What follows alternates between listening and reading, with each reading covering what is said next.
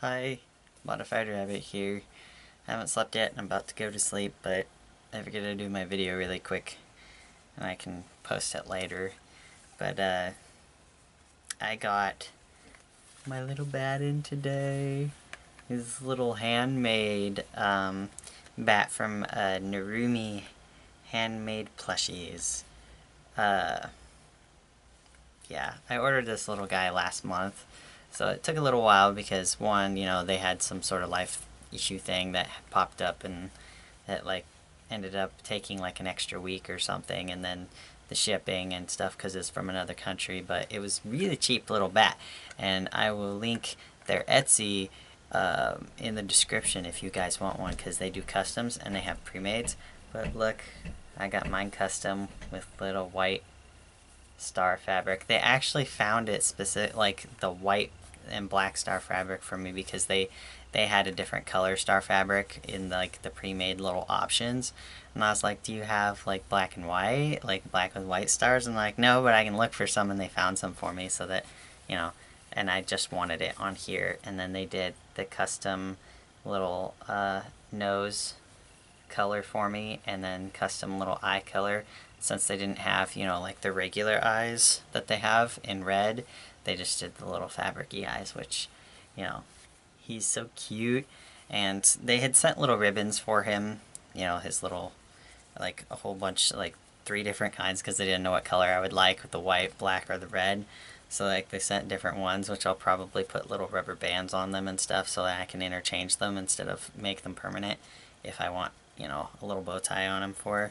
I don't know if I would though, because, I mean, he looks so cute without them but he also looks cute with them. So, I don't know. Look at him though, he's so cute.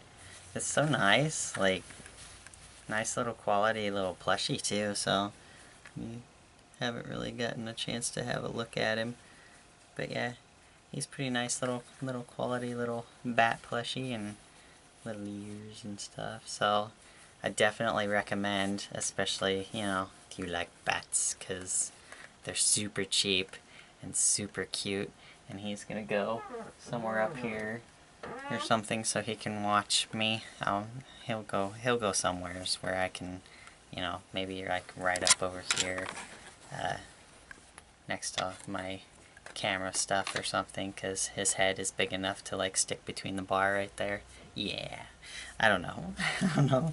But yeah, that's all I really wanted to show you guys today since I just got that in and uh, I'm super tired trying to get back, like get on this proper sleep schedule. Tomorrow I have my orientation at like 6 something in the morning and so I'll be doing that and then my uh, birthday, my birthday is when I start my first day.